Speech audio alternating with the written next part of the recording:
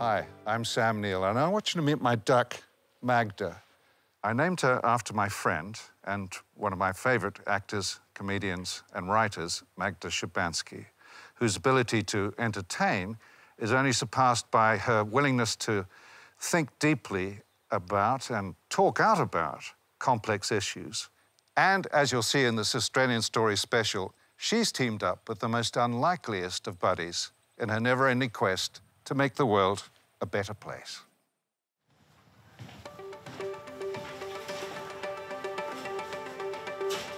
We're leaving in half an hour, just waiting for Magda, and we're all really excited. Hey, we have to do the remote. I know, I want to give you a hug, but we can't. I, oh, oh, that's it. No, this is my new thing. It's my Yeah. reverencing. Yeah. William and our family will travel to New South Wales and spend some time where the bushfires um, happened last year and see the impacts of that. Magda will be with us in another car. Okay, turning on the quarry GoPro. How low can you go, Pro? This was the very first time we were going to Tumbarumba and Batlow. And as much as anything, it's a recce, you know, to find out what the community wants. Honestly, Magda and I have no idea what to expect once we're going up to the Snowy Valley area. Sorry, man. Good to see you.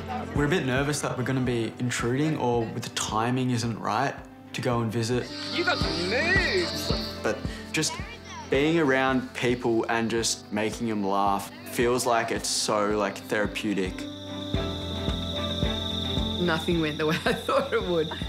Can we do it one more time? Yeah, sure. Want to do it one more time? The practice run. But of course not, you know, because you can't plan that sort of stuff. Oh, Yeah, I can look. Sweet. doesn't get much better than that. Well, suddenly I realised that I was in this sort of financial legal venture with a 19 year old boy who I really knew nothing about and his mum. it was not what I expected to be involved with Egg Boy.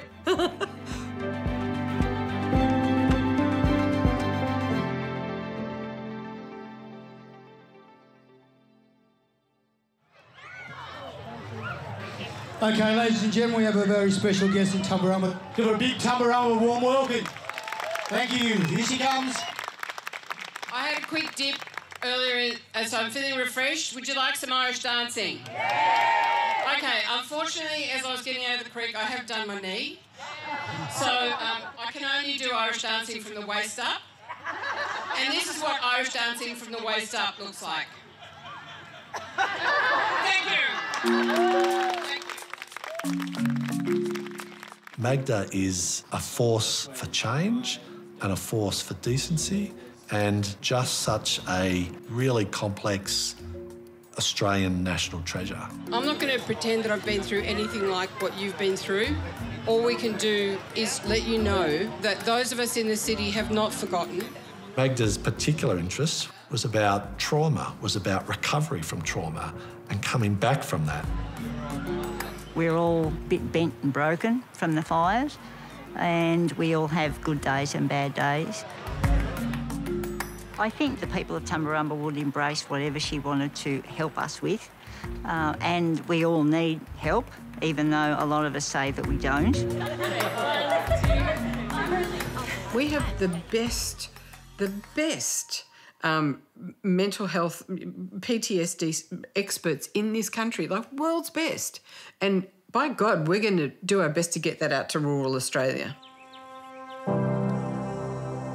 Like when you're in a township, it's sort of doesn't feel quite so real, but here it's just so It surprised me that somehow or another Magda and Egg Boy had got together to raise money for traumatised communities.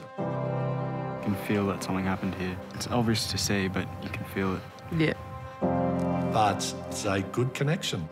Here you've got a young man who's clearly committed to taking a stand and a significant Australian cultural figure coming together for a shared cause across generations. I'm very proud of Will. No, thank you. Proud of you too. No. I'm a really reluctant activist. I don't like confrontation, but I do get my back up. And it's a protective thing, you know, for, for young people like Will. Like, what world are we giving them? Tens of thousands of students have joined rallies across the country demanding that Canberra listens to future voters. I was in year 12 and uh, there was a climate change rally. I never really voiced my opinion on anything. I'd never really gone out and done something. And, you know, it was pretty inspiring and I was, there was a lot of like emotion there. And then on the way home, I saw the video of the Christchurch shooting. At least 40 people have been killed in terrorist attacks on two mosques. And it was just two emotional cocktails collide, like, oh, the gut sank. And then an hour later, the senator released his statement about that shooting. Fraser Anning took it upon himself to use that as an opportunity to push an agenda about immigration of Muslims. Essentially saying, although these particular Muslims aren't responsible for extreme acts of terrorism across the globe, that doesn't mean that they are blameless. ISIS is finished. It's safe for them to go home there. Help rebuild the country. Will was really taken aback by everything that was going on. How can this happen in the world? Uh, that night, William read on Facebook that Fraser Anning would be speaking around the corner from our house. It's a five minute bike ride. I didn't know this at the time. The next day, I said to Will, I'm going to have a lie down. Don't wake me up for anything. So I've gone into this event, and then I looked around and I saw families who'd bringing their kids to listen to this man. The refugee problem is costing us both ways. And I saw this is just weird and wrong, and people were clapping him. I'm getting a lot of criticism now. I don't know why over what happened in uh, uh, New Zealand yesterday. And then he started saying things like there were already seven Muslims in parliament, and Sudanese people, they need to go back to where they came from. The civil war is pretty much over, so it's a safe place to go back to, so it's time to go back. Something clicked inside of me. So I've walked up. Within 10 seconds, I've got up behind the senator, and then I've cracked the egg.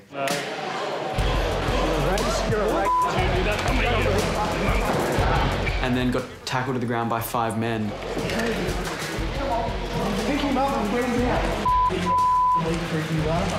Very quickly, a viral video started to appear in people's feeds of a young boy that wasn't having any of it. I woke up, turned my phone on to a message on Facebook. Get the cops.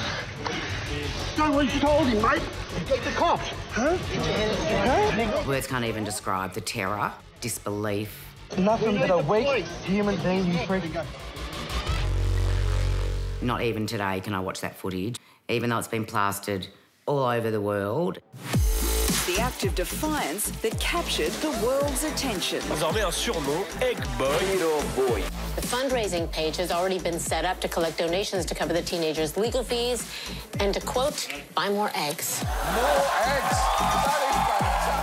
Many people didn't agree with what he did. Just because you didn't like what the senator said, well, that completely justifies him being physically assaulted. What's wrong with you, huh? A lot of people loved it. He is donating money raised in his name to the victims of the New Zealand massacre. Egg Boy, you're already a national hero. What more could you do right? I was like, good on you. Oh, I totally understood why Will did that. It was like a scream of rage. He was just incensed, and, and, and I got that. All of a sudden, he has this huge social media following. He is being approached by talent agents and offered a lot of money to endorse products. Big name bands say he can have free concert tickets for life. He's been offered a Turkish holiday, a lifetime of dreams. People were trying to leverage off me all the time, and I started to feel like an object. William struggled with people liking um, Egg Boy because that's not Will. You know, Egg Boy's Egg Boy, Egg Boy's a meme. And Will said everyone always comes up and says, "Oh, Will, you're a legend," and but that he would say to me, "Mum, they don't know me. It's not me. It's Egg Boy." It went from stroking the ego to just insecurity and anxiousness. And Now I don't like life as much. What the hell? The only thing left to do then was to give back. And that's when the healing really started to happen. I got a phone call from a friend who said, Hey, can you have a word with him? So I rang up and I said, Well, I'm going to this conference with 300 amazing, innovative minds that want to make, you know, a better Australia. How about you come up there and you ask for guidance? As we talk about being comfortable with being uncomfortable, you'll learn a little bit more about Will. And then Will spoke, and I was really struck by him. And then I saw Queensland Senator, and I thought, how could someone in a position of authority spread that hate speech? I just thought, I hope he's okay, you know, because they'll, they'll, you know, fame is a really, ooh, it's a tricky, it, it can be a monster. And after I've done this speech with Jules, Magda poke, prods me on the shoulder, and she was like, "You're gonna come with me. Like, we're gonna be friends or whatever." And I was just like, "Oh, okay, thanks. I don't really know who you are. like, I didn't know who she was." And everyone's like looking around, like, "Oh, he doesn't know who Magda is. What is he doing?" And then we didn't see one another um, between then and when the fires happened.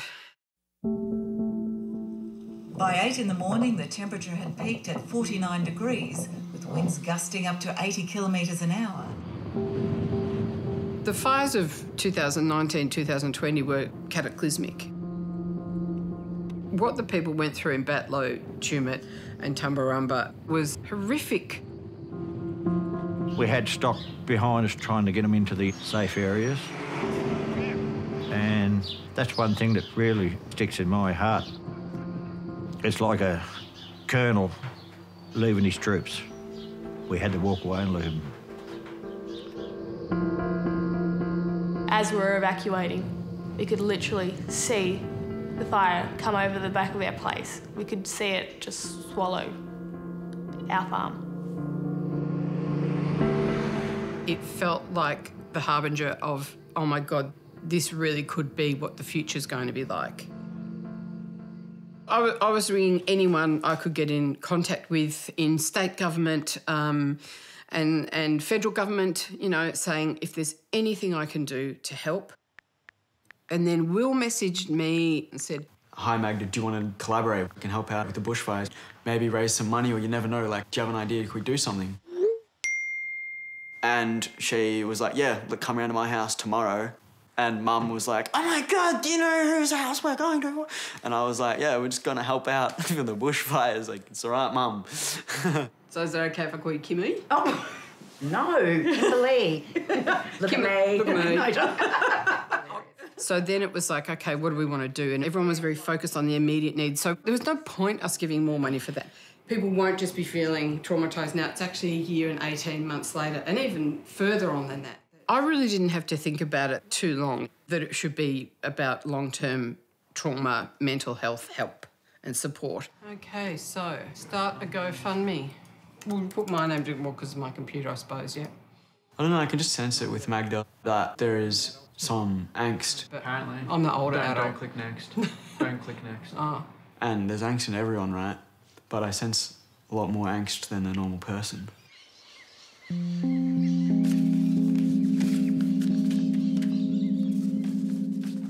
I am way more shy than people think. I can so introvert to the point that I might never outrovert again. Like I, I when I go in and I ju- can just not leave the house for long periods of time.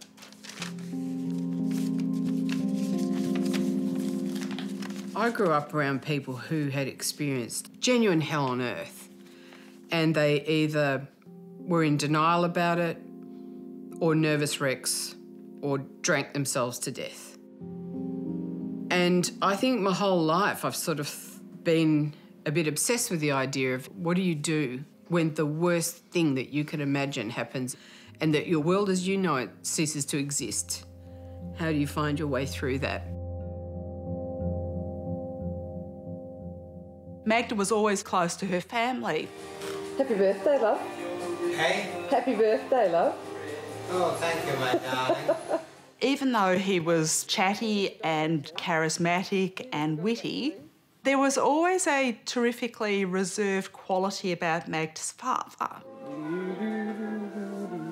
So, in a way, I was not surprised that there was another side to Mr. Szubanski. Do you read tango, Dad? My father had just turned 15 and the Nazis invaded Poland, which precipitated the Second World War. Can you remember hearing the first bomb? Oh, God, of course. What was that like? That must have been terrifying. A bit terrifying. I was 36 when I filmed him.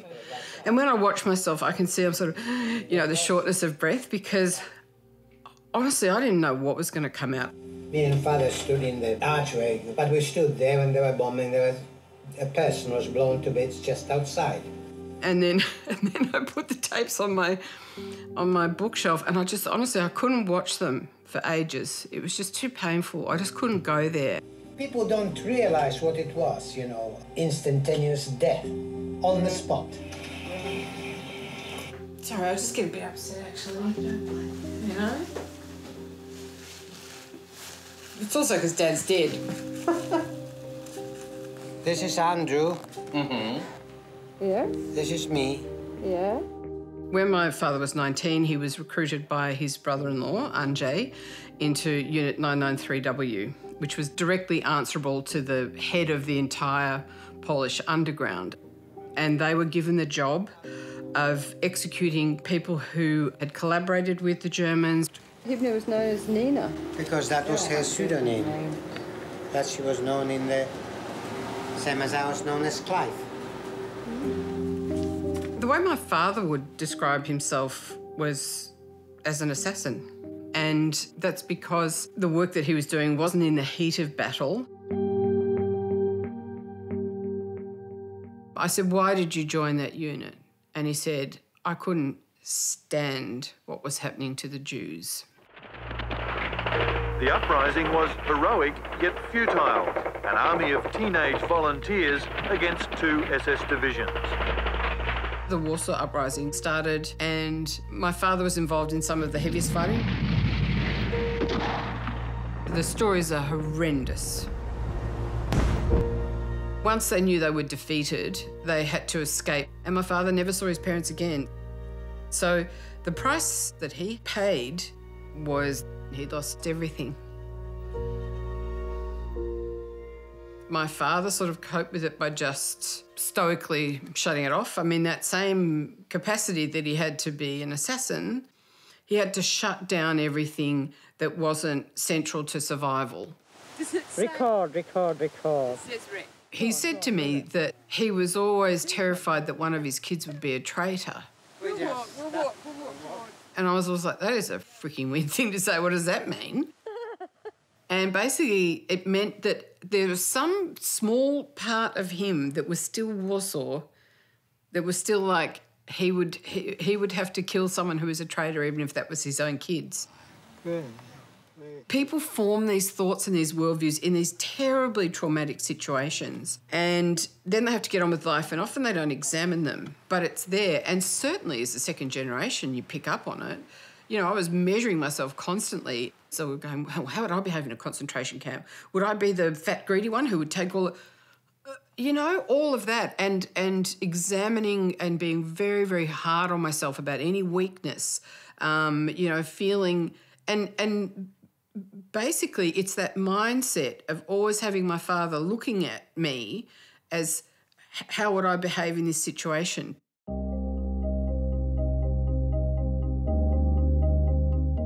When we were in second year university, Magda threw herself into politics, into feminist politics, uh, being involved in the women's room, working at a refuge. and i used to have these raging arguments with my father you know i wanted to change the world i thought you could change the world and he could see that i was a sucker for a cause he could see that i had that same impulse that he had and he was worried for me because he knew the price of that. And then I, I travelled to Poland. Oh, a heart palpitation just thinking about it. Behind there, there are the urns. Of people who actually died in the concentration camp. Okay? Mhm. I was very, very cut off from my emotions in a lot of ways. I mean, I pretty much what I would describe, well, not pretty much actually, it was completely a nervous breakdown. It was hardly surprising that when I came back, all I wanted to do was comedy. well, wouldn't you? the only sane response, I think. And if you think that I can be silent for one second, then you haven't been listening to a word. I'm doing a nude film. Hurry up. Just call me Mike from the Tactical Response Group. So, do you want me to get my hair done or not? There's an energy in comedy that I believe is pure life force and pure joy. Yes, thanks, Peter. Thanks, Peter. It was also undeniably a way to avoid anything dark or real. Exemplary cam- camera work there. I needed to do that for about 30 years. um, and, uh, and then I felt like I could get back into the fray. If we can learn to get the measure of first, second, third generation trauma, if we can learn how to alleviate that suffering, how to help others who are going through that suffering, I- I'm all in. I am like, I'm in all in. I'll do whatever I can to help. Altogether, we raised $181,000. And we thought, now we've got all this money, what the hell do we do with it? we didn't know what to do. I was already following Magda and Will on Instagram. And I remember thinking at the time, oh my God, you know, these two people that I really admire, wouldn't it be wonderful if they actually gave some of that money to do creative art programs? We've now had 11, 11 month long projects, two projects a year, with ADF personnel who have been wounded, injured, or ill as a part of their service, uh, which has been fantastic. Actually, that's something they bring out a lot, isn't it? The humour. Such, Yeah. such great humour. Yeah. Yeah. Time and again, we see military people bloom and develop some sense of hope. To be honest, an art based program would not have been the first thing that I would have gone towards because uh, it, it doesn't seem, it seems too light and fluffy, you know. We know in people with post traumatic stress that the area of the brain which is to do with symbolic expression in an MRI looks almost dead. Yes, this is backed up by science. And it was only in conversations with Ian and Jordan that they educated me about the fact that there's a scientific basis for the way in which art changes the brain. It regenerates neural pathways that have been broken by trauma. You know, it links in with the clinical practice. And out of that regeneration grew. Toast regeneration, eh? Well done, guys. Regeneration. Regeneration. It's sort of like a really stark, eerie beauty, isn't it? The black trunks with the green growing out. It's such a relief when you see the green.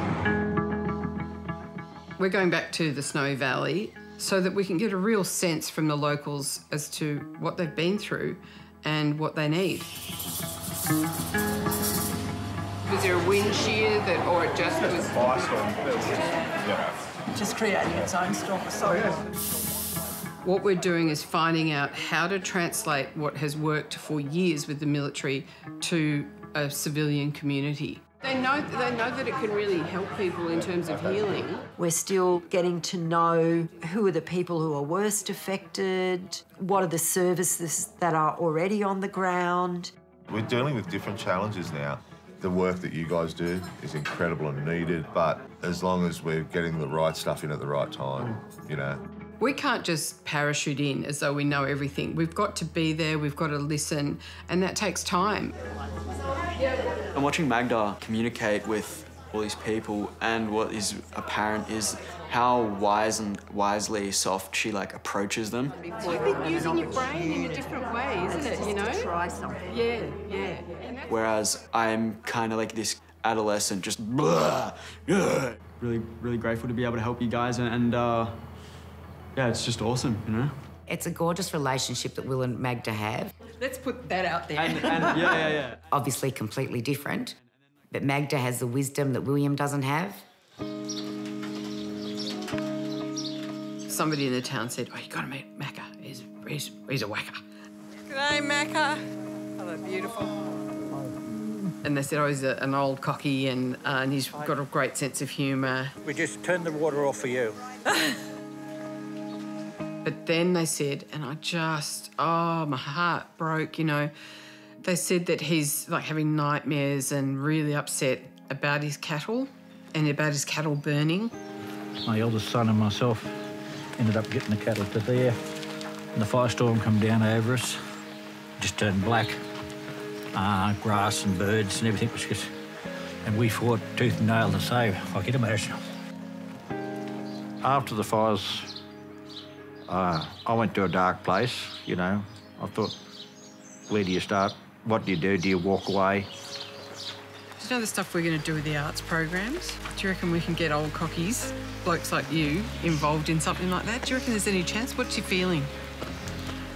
Probably, you'll probably get 70, 70% maybe. Yeah. Really? Yeah, Okay. Yeah, because... Do you want to help us, or I don't want to put pressure yeah, on you? No, We'd no, love I know there's, there's people out there hurting. I didn't know how to approach it, so Magda sort of took the lead, and, and he knew who she was, and I think she actually brought him some healing, and and and uh, and it was really good to see those two really um, come together. These are the, the generation we've got to look after. You know, I'm through. I'm, a, And I'm through the I'm through it. the gate. I'm in here. Yeah, but you know we've got to leave the country in a workable situation so you people can carry on. Okay, love yous all.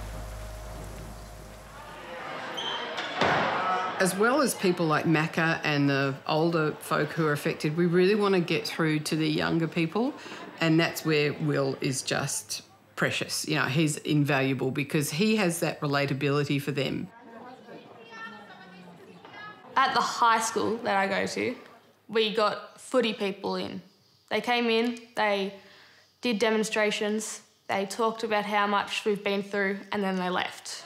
Come on, get going. I want to see it. I want to see some silly. Come on. When Will and Magda came, it felt like they actually were going to do something like to help the community and our school. Basically, we're bringing some of the best trauma experts in the world to Tumbarumba and Tumut and Batlow. And what we're going to do is use the arts as a way to help you open up, engage, express yourselves. You might have been feeling like you've been forgotten. We definitely haven't forgotten, and I wanted to make that clear. A lot of young people really connect strongly with Will because they get that sense of desperation. You know, they are there is that sense of despair. I really hate the racism. I'm very happy for him to learn from me to help that despair be channeled into a really constructive activity rather than just, you know, bang, smash an egg. I do hold him accountable, and I will continue to. It's like he's got this second nagging mother. But um, he's young and he's idealistic, and he wants to do something to try and make the world a better place. We want to be able to leave these communities with something that has a life beyond just us coming in and doing something and going. We're trying to train up as many local artists as possible. So it's like entry level understanding and training in how trauma affects people. One of the first workshops we're kicking off with is a pottery class. So you need to keep your fingers on the outside. And in that class is Fran Giel, who's a world renowned potter. Hey, Will, not too much water, it'll turn to swamp.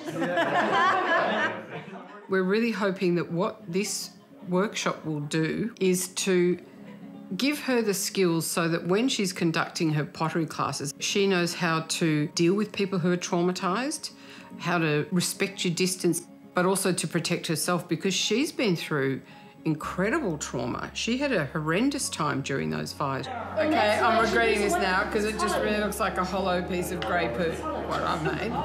So um, maybe maybe I should stick to comedy. You know, that's what I'm that's what I'm thinking. This is all still a work in progress, but what we're finding is that even for the people who aren't taking part in the classes, the impact of us just being there has been enormous, and I will be seeing it through. Everyone thinks of Magda as a star. She's just, she's just human. She's just just like the rest of us, you know. She just wants to see Australia be Australia, and you know, we'll give her 10 out of 10 for that, you know.